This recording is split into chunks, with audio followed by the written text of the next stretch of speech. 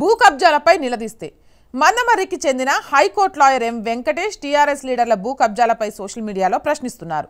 దీంతో ఆయనకు చంపేస్తామంటూ బెదిరింపులు మొదలయ్యాయి. ఎమ్మెల్యే బాల్కా సుమన్ అనుచరులు బెదిరిస్తున్నారని పోలీసులకు ఫిర్యాదు చేయగా ఆయనపైనే ఉల్టా కేసులు పెట్టిండ్రు. వా ఇక్కడ కొత్త ట్విస్ట్ ఏంటి తెలుసా?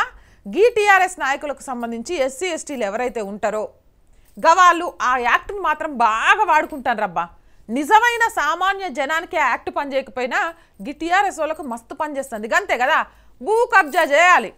ఎంఆర్ఓ లాభం పొందాలి ఏ దాన్ని ఏమంటారుగా? కొలతలు ఇష్టోళ్ళు లాభం పొందాలి పోలీసు వాళ్ళు లాభం పొందాలి నాయకులు లాభం పొందాలి.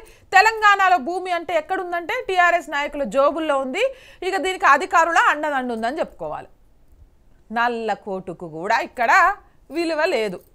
చట్టాన్ని సుట్టం చేసుకున్నారు. న్యాయ వ్యవస్థను నలిపేస్తున్నారు. వాళ్ళ మీదే రిటర్న్ కేసులు పెడతాండ్రు. ఇక ఏడికి పోతారు జనం? ఏడికి పోవాలి? గిట్ల కదా? ప్రశ్నించే ఒక్కరిని నొక్కి పెడితే ఇప్పుడు ఏ ఏరియాలో ఎన్ని భూ కబ్జాలైనాయి ఆదామన్న అయితే రోజు రాస్తాడు భూ కబ్జాల గురించి. తలసాని శ్రీనివాస్ యాదవ్ సార్ గురించి. అడ్డగోలుగా వెలుగుస్తున్న వెంచర్ల గురించి. మాయమైపోతున్న ఏమంటారు?